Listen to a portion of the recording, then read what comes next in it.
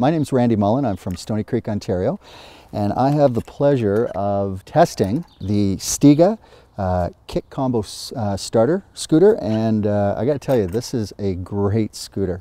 Stiga's really done a great job in terms of uh, the design, and I, I, really uh, like and appreciate how compact it is, whether it's going in the trunk of a car or whether it's going into uh, a, a knapsack. Um, it's super compact.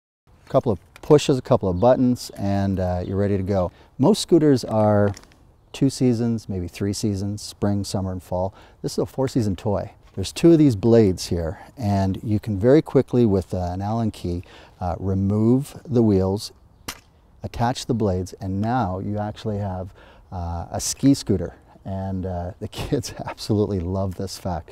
Um, so it gets a lot of use. It's at a great price point. Uh, and it's one of those things that uh, you're going to buy it, you're going to enjoy it four seasons around.